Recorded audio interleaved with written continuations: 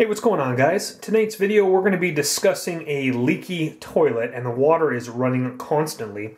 Now I have the water shut off right now, but I'm going to go ahead and turn that back on to show you guys what's happening.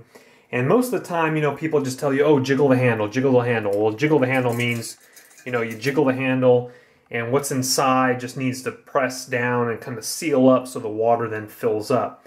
Well, in my case, it's a chain problem, and we're going to get to that in just a second here.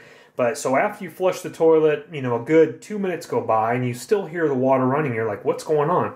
And majority of the time, you know, people will say, jiggle the handle, that will fix it. And majority of the time, jiggling the handle will work, but I'm gonna show you a more secure fix for it here. So let me turn on the water here. And again, that's just located over here to the left. We're gonna quarter turn that back on. Okay. And now let's remove the cover here. So again, this is my problem here. The water runs, runs, runs, and runs and runs without filling up the tank. And so what's happening is my chain right here has gotten all messed up here. Now you see, it's preventing this from sealing down and able to fill up the water right here. So again, stop jiggling your handle and address the chain situation here, and this will fix it. So number one, my chain is all wrapped up on this little hook down here and it's actually shortening the chain so the chain doesn't have its proper length to be able to flatten down on that and seal that up. So let's go ahead and address that chain. Okay, we turned the water off there so it's a little less annoying while we talk to the camera here. And so again, the first thing is you're gonna have a different length of chain here. Again, your, yours might look a little bit differently here. But again, the chain is all wrapped around this like little S-hook type of a thing here. So number one, what we're going to do is we're going to remove the chain from the S-hook.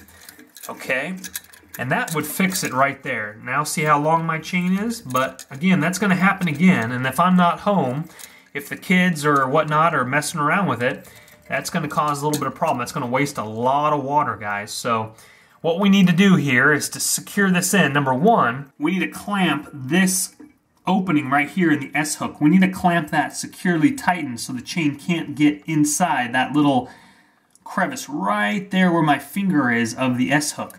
So we're going to take some pliers, we're going to cramp that down there so the chain cannot get hooked in that little uh, area there again and shorten itself. And we'll, what we'll probably also do is we might even take some clippers and cut the rest of this off so this doesn't get uh, in there as well. Okay guys, excuse my camera work. I'm trying to do this with one hand here. So again, we're going to close up that gap right there. We just have some regular pliers here.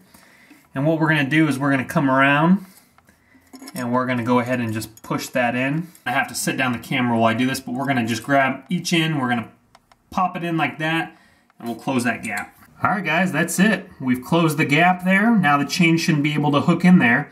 And if it starts to hook in there again, I'm going to actually go to the store and buy a better connector. Maybe something more along the lines of a little hook device like this. And so that doesn't mess up. It doesn't mess up that often, but I haven't addressed that situation in a while. So that was bugging me. And since the water's already drained and it wasn't sealing, it gives me a good opportunity to reach in there and fix that without getting my hands completely soaked or my tools soaked. So now you have the option of taking some clippers and cutting the rest of this, but you want to make sure that you don't affect the length of it because now it is sealing on perfectly there, guys. So now what we're going to do is we're going to turn on the water and it's going to fill back up because again, this is completely sealed now down on this right here. So that is another issue, guys. If the chain is not your issue, then you might have to address a different seal right here that is sealing down on this. So if this does not seal down perfectly, the water is going to leak through and it's not going to fill up your tank. So again, if it's not a chain issue, it's going to be the sealing issue down here on this rubber gasket, kind of a washer situation right here, guys. So I hope the video has helped you. I'm going to go ahead and turn that water on. We'll get a shot of it. Excellent, guys. It's all filled up there completely. And again, the systems, even though this is a larger tank, this is an older type of uh, toilet, so this tank is going to be a lot bigger than yours.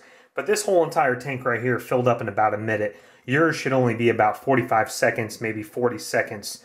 Look in that description box below for some of these parts, some extra chains, links, and even the rubber sealant uh, washer kind of gasket right there as well. Anyway, I hope the uh, video has helped you guys. You guys have a wonderful night. Take care.